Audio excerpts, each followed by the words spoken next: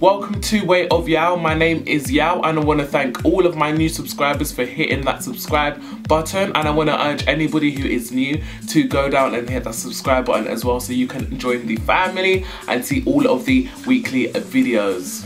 I'm making this video because of the whole incident that happened with Charlotte Tilbury and the foundation line. It turns out that it actually wasn't a foundation and in fact was some sort of skin glow primer sort of situation going on over there. It wasn't actually a foundation, but the picture that was launched was basically a picture of about seven different shades and only one seemed to be of the darker range, of the deeper spectrum, and that's definitely not okay. And Jackie Aina actually posted some snaps with Charlotte Tilbury, you know, kikiing or whatever, and didn't bring up the fact that there wasn't darker shades.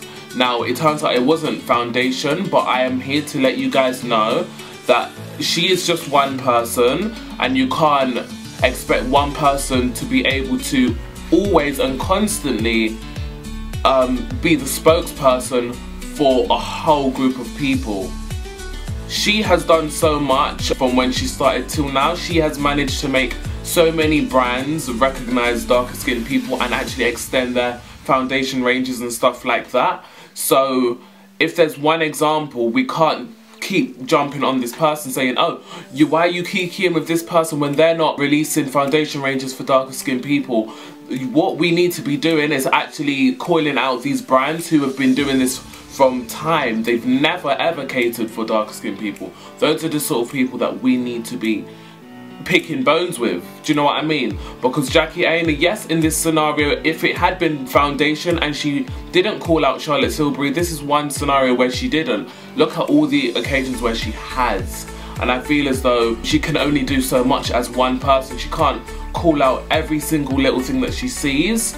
So I feel as though we can't constantly jump on her and expect her to be the spokesperson. We need to actually be contacting these brands and actually trying to get these brands to do better because at the end of the day it's the brands that are creating the foundations and stuff like that she is not i'm gonna give you guys a little backstory i am a very dark skinned boy I am often the darkest shade of all of the foundation ranges. So for example, in MAC I'm NW58 which is their darkest shade. Unless they've released a darker colour, I am that's the darkest one that they do that I would use. Um, I would actually prefer to go a little bit darker, um, but they don't do darker. I think I'm always the darkest shade in the foundation range.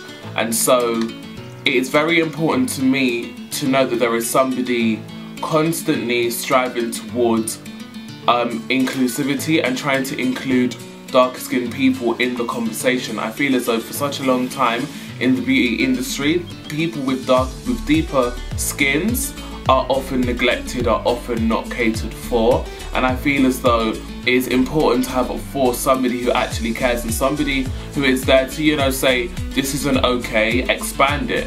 Now, Jackie Aina isn't the darkest of the darkest, she could probably use a lot more foundations and wouldn't need to speak out as much as she does but she still acknowledges hey there are people who are darker who need some foundation as well. Like why is there not options for these people? And I feel as though a lot of people who are in positions to be doing something or to be saying something and actually share those values would rather not do that because it would affect their business or affect their brand or affect their name and they don't want to be associated with being outspoken. And there are so many people who I've spoken to in real life like in person interactions who dislike Jackie Aina simply because she is constantly speaking about these issues and they'll say stuff like, oh, she's annoying, she just whines, she just um, goes on and on, she just complains. But I understand that these people are not affected by these issues.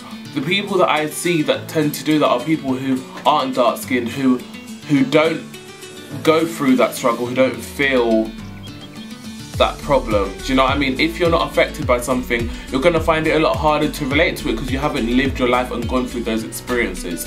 I've always been the person who walks into a store and says, what's your darkest shade? And oftentimes, their darkest shade isn't dark enough.